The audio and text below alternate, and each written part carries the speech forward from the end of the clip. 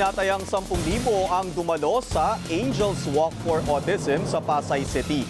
Pinangunahan ng Autism Society of the Philippines ang aktibidad na layong palaganapin ang kaalaman at awareness kaugnay ng autism. Pansamantalang natigil ang kanilang kampanya dahil sa pandemic.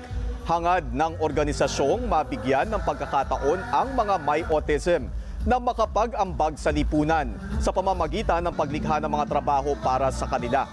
Ayon kay outgoing Autism Society Philippines President Mona Magno Veluz, mayroon silang partnership sa 52 kumpanya sa bansa. Nitong 2020, naging katuwang na rin nila ang isang New York-based company. awareness is not enough. There has to be acceptance, accommodation, and appreciation. And paano pa ba natin mapapakita yung appreciation natin sa kanila if we don't give them economic independence? Dapat may uh, equal access sila to work.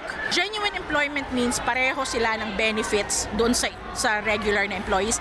Hindi tayo OJT, hindi tayo apprentice, hindi mas mababa ang rate natin, dapat patas. At yun ang hinahanap namin sa ASP Autism Works.